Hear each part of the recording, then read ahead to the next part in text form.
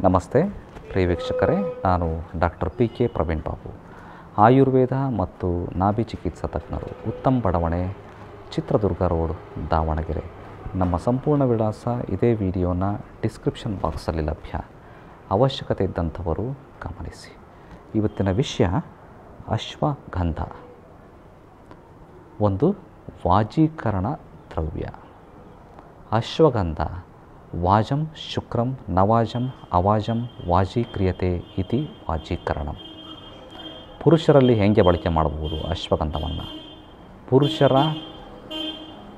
ಆ ಶಕ್ತಿ ಯಾವ ಶಕ್ತಿ ಹೇಳಿ? ಪೌರುಷ ಶಕ್ತಿ.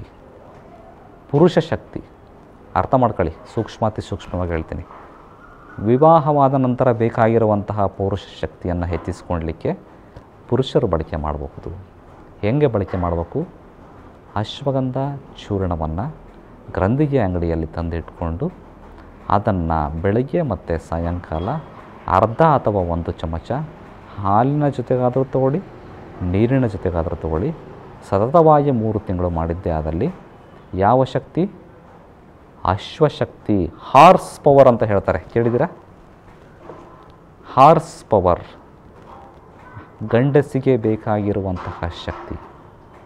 ನೂರು ಕಾಲ ಗಂಡಸು ಗಡಸುತನ ಎಲ್ಲವೂ ಇರಬೇಕಾಗಿರುವಂತಹ ಶಕ್ತಿಯನ್ನು ಈ ಅಶ್ವಗಂಧ ಒದಗಿಸಿಕೊಡ್ತದೆ ಪುರುಷರಿಗೆ. ಇದನ್ನು ಬಳಕೆ ಮಾಡ್ಕೊಳ್ಳಿ. ನಿಮ್ಮ ಸಾಂಸಾರಿಕ ಜೀವನವನ್ನು ಸುರಳಿತವಾಗಿ, ಸುಂದರವಾಗಿ, ವೈಭವೋಪೇತವಾಗಿ ನಡೆಸ್ಕೊಳ್ಳಿ. So ashwagandha the drug of choice for purusha shakti.